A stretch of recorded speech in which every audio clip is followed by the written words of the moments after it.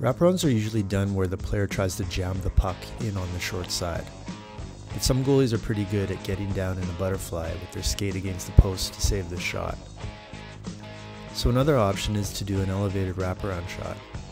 What's really important about this shot is to bring the puck away from the goalie. You need about 3 or 4 feet away from the goalie to clear the puck over the goalie's pads. Footwork is also critical. Make sure you pivot your feet from forward to backward as you release the puck. As you shoot, you should be gliding backwards.